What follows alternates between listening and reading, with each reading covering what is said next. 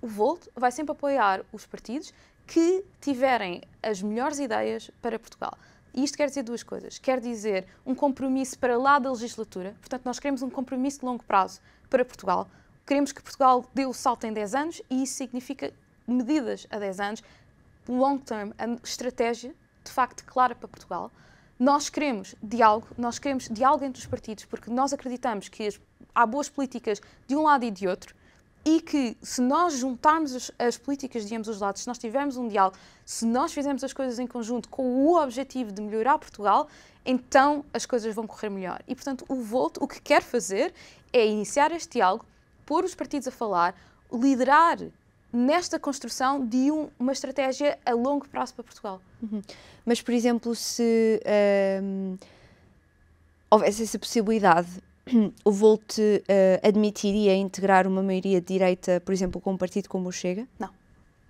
E Não. um partido como o CDS, uma vez que é contra, por exemplo, as touradas e contra, por exemplo, e é a favor, por exemplo, de direitos LGBTQI+, uhum. QIA+, uh, uma maioria, por exemplo, direita com o CDS seria também uma opção para o voto? Se o CDS estivesse disposto a falar connosco e disposto a não, uh, a não perseguir políticas que, de facto, vão uh, contra aquilo que são os direitos que já foram adquiridos, se eles estiverem dispostos a trabalhar connosco noutros temas, sim, podemos trabalhar em conjunto, mas atenção, qualquer partido que diga que é anti-Europa, que Portugal se deve sair, que se deve isolar, que se deve fechar, nós achamos que, em princípio, não haverá abertura para falarmos, porque esse não é o caminho.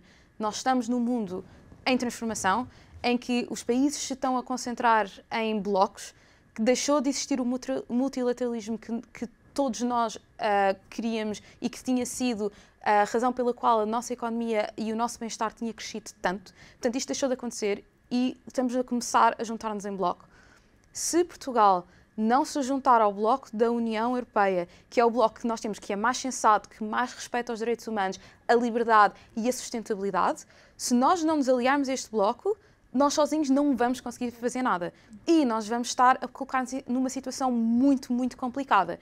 Portanto, o Volt não, uh, em princípio, não vai trabalhar com ninguém que queira que Portugal saia da União Europeia. Portanto, traça uma linha vermelha ao Chega uhum.